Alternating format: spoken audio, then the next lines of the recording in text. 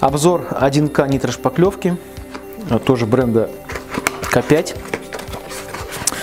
Применяется в основном для очень мелких ремонтов, находящихся в незначительных таких зонах.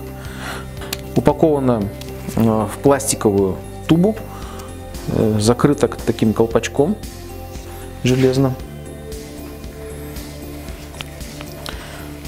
Э, светло-серый цвет имеет. Смешивать ее мы ни с чем не будем, потому что это однокомпонентная шпаклевка. Давайте ее нанесем на универсалку на нашу и посмотрим, как она заполняет мелкие повреждения.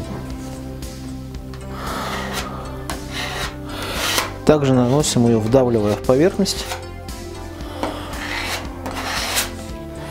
Таким образом.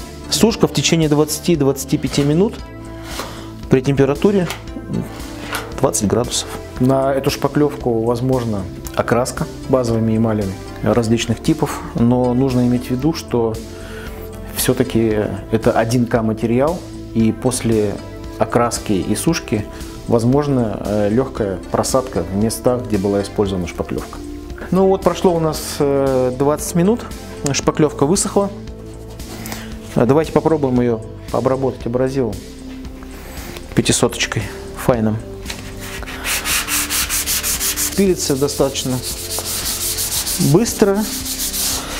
Ну, можно посмотреть, вот она осталась у нас в неровностях, в риске.